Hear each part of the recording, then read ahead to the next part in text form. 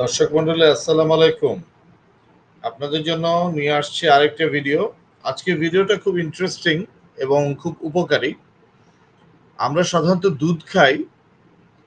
তো আজকে দেখাবো শীতকালে যদি আপনারা দুধের সাথে হলুদ মিশিয়ে খান, এটাকে ইংলিশে বলে টার্মারিক মিল্ক অথবা অনেক সময় আমেরিকানরা বলে গোল্ডেন মিল্ক বিষয়টা হচ্ছে দুধের সাথে আপনি হলুদ মিশিয়ে খাবেন। এটা একটা আয়ুর্বেদিক একটা সলিউশন এটা ওজন কমাতে সাহায্য করে, ডায়াবেটিস আর্থারাইটিস বিভিন্ন রোগের পথ্য হিসেবে কাজ করে। চলুন দেখে আসি আমরা ভিডিওটা। খুবই একটা উপকারী ভিডিও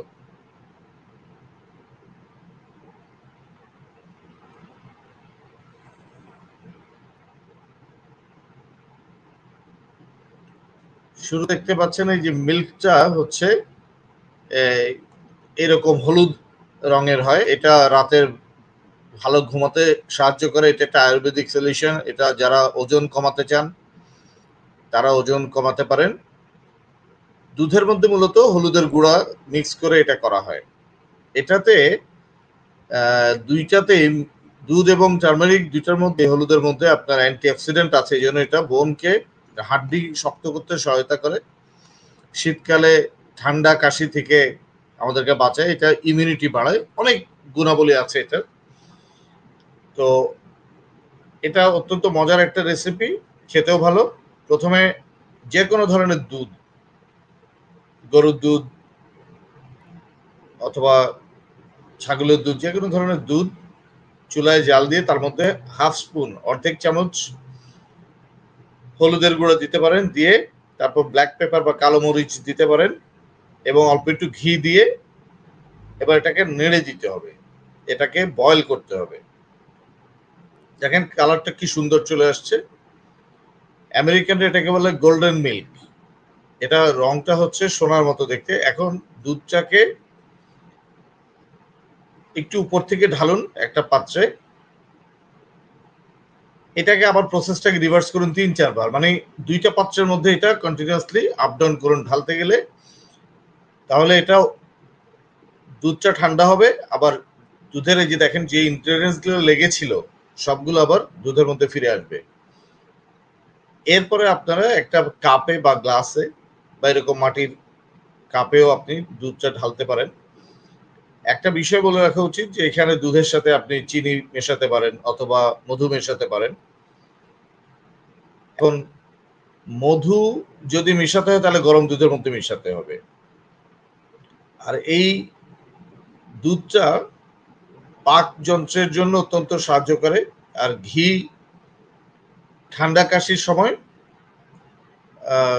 একটা আয়ুর্বেদিক সলিউশন হিসেবে কাজ করে। এখানে মধুও দেওয়া যায়, চিনিও দেওয়া যায়। ওনারা রেকমেন্ড করছেন মধু দিতে হলে গরম দুধের মধ্যে দিতে।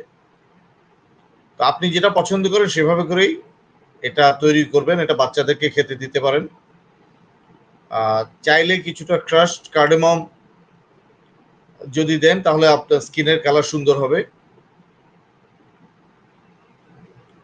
তো এইটা নর্মালি যারা স্বাস্থ্য সচেতন, তারা এটা খায়।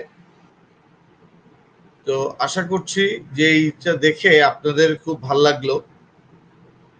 তো আমার আসলে এই ভিডিও দেখার আগে আমারও জানা ছিল না যে এই গোল্ডেন মিল্কটা কি?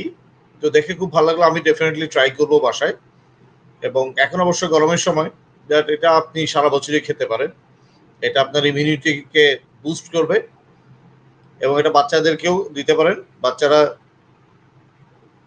তাদের হেলদি হওয়ার জন্য এই রকম খাদ্য দরকার। দুধ অনেক সময় খালি খালি খেতে ভালো লাগে না। তো আপনারা ট্রাই করে দেখতে পারেন। গোল্ডেন মিল্ক বা চার্মারিক মিল্ক হলুদের সাথে দুধ মিক্স করে খাওয়া।